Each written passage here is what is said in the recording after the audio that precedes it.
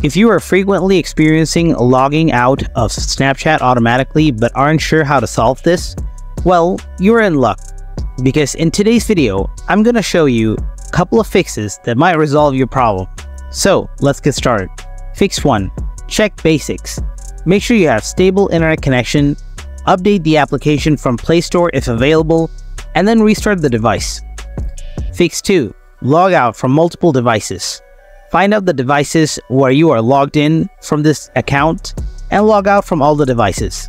Make sure you try to log in from a single device. Fix 3. Clear app cache. Open Snapchat, tap on profile icon on the top left corner. Now go to the settings by tapping on gear icon, scroll down to account actions, tap on clear cache, exit from the app, long press on the icon until pop-up shows up, press on I button, scroll down to storage and tap on it, hit the clear cache button. I hope by now the problem is resolved, if not, wait for some moment, maybe the Snapchat server is down and under maintenance.